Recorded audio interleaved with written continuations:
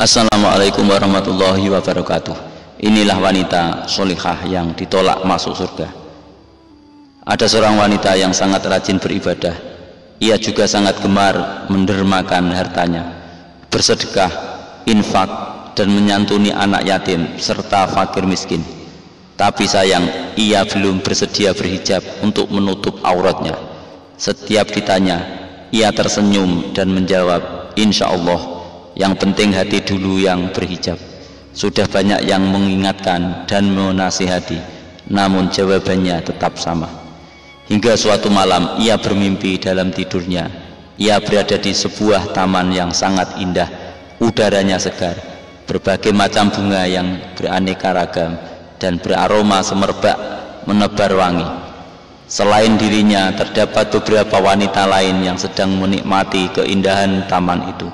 Wajahnya memancarkan cahaya yang sangat lembut. Ia menghampiri salah satu wanita. Assalamualaikum saudaraku. Waalaikumsalam. Selamat datang saudaraku. Terima kasih. Apakah ini surga? Tentu bukan saudaraku ini hanyalah tempat menunggu sebelum surga. Benarkah wanita itu tersenyum dan bertanya, amalan apa yang bisa membuatmu ke sini? Aku selalu menjaga sholatku, ditambah sunnah dan ibadah-ibadah yang lain. Tiba-tiba jauh di taman itu pintu surga yang sangat indah mulai terbuka. Satu persatu wanita di taman itu mulai memasukinya Sambil setengah berlari wanita itu berkata, Ayo kita ikut mereka. Apa di balik pintu itu? Tentu saja surga saudaraku. Sambil berlari semakin cepat. Tunggu.